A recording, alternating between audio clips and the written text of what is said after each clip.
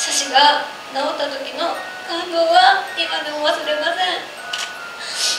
でも皆さんもうすうす気づいている場面があったかと思います。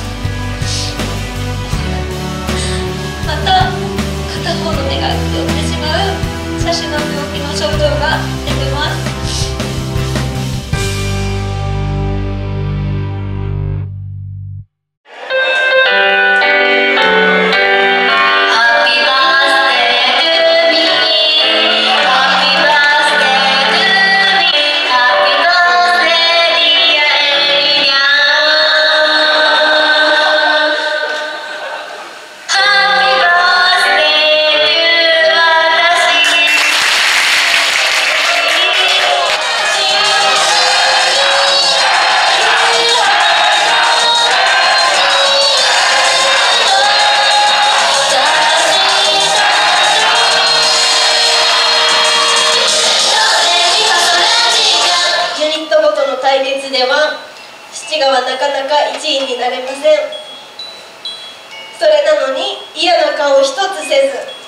ていた私に動員と人気は別だよ。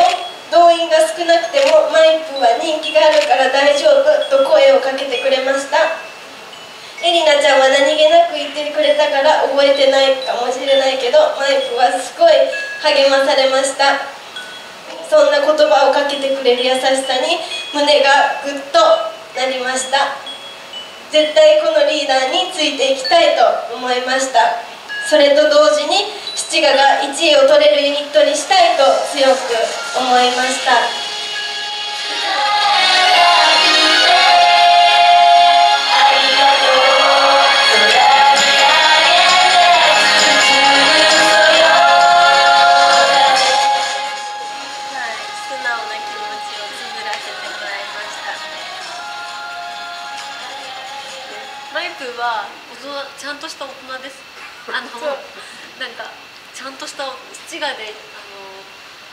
ある意味唯一頼れるこう女性。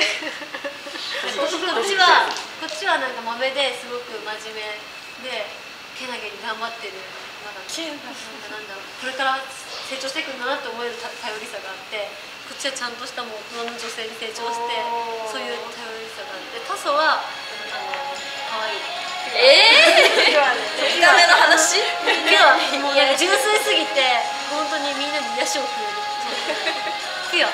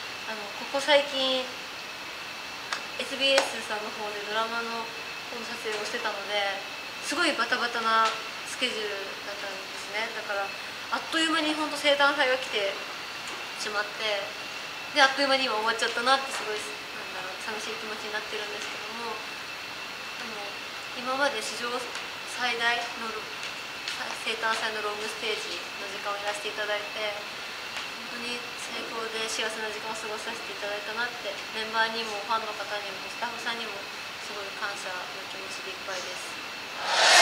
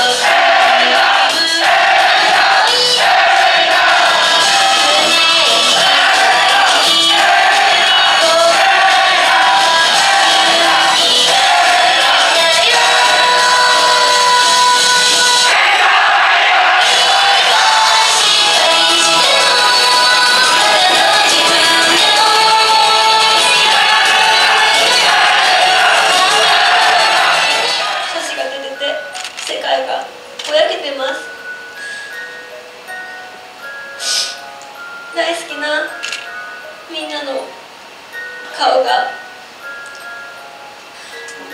見れないのはすごく辛いです。でもこういう姿になってる自分を見られてるのもすごく苦しいです。本当は見た見てほしくないです。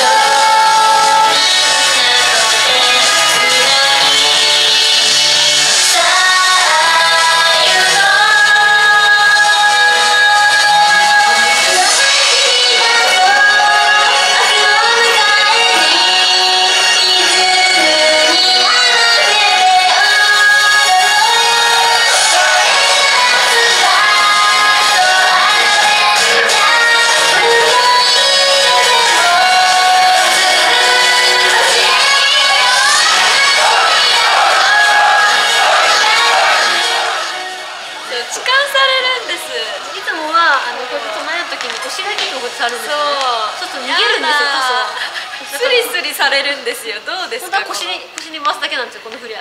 一緒に行くだけなんですけど腰に触ると逃げるからなんか今日はこうやって前に触ったらそうだから今日はやり返してやりましたよこの私が。あそこ触った。でも本当に柔らかいんですエリナちゃん何やってんだか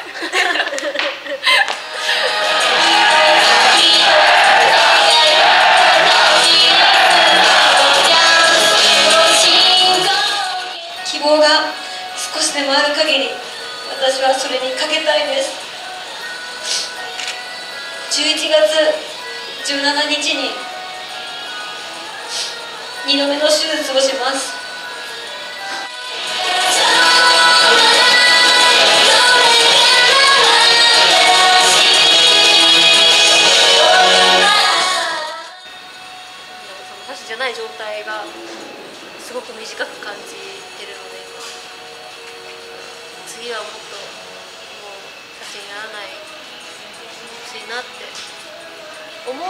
けどまた話がややこしくなっちゃうけどいいですか？あのすごい写真のおかげでまた買われた自分もいるのも間違いないことなのですごく、まあ、違う意味で早く直したいとも思うけど違う意味で写真にも感謝してるなって最近はちゃんと思えるようになってきました。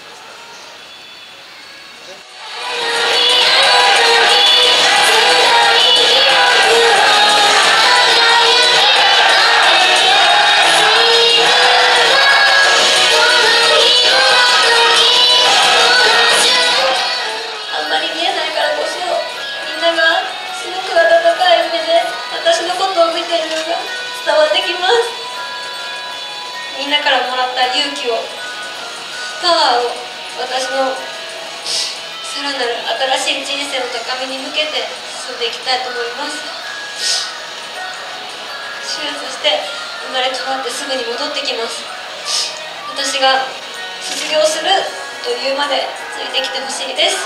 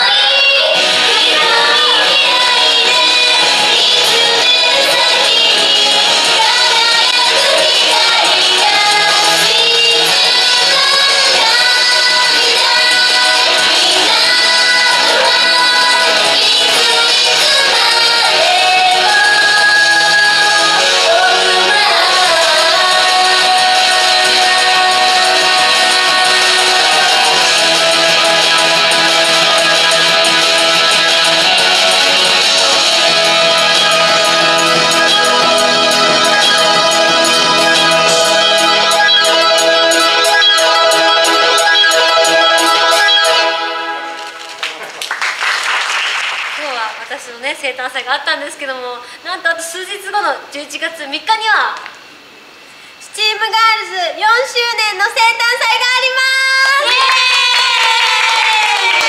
ね、スチームガールズにとって初の生誕祭ということでもうねファンの皆さんがもう盛り上げグッズもたくさんございます。ね貢献してくれてお披露目できますので。ここの会場がスチームガールズ一色に染まる日で。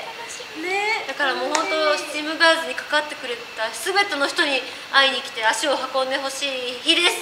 11月3日ぜひぜひ皆さん仮面女子カフェ見てお待ちしております。来てね待ってます。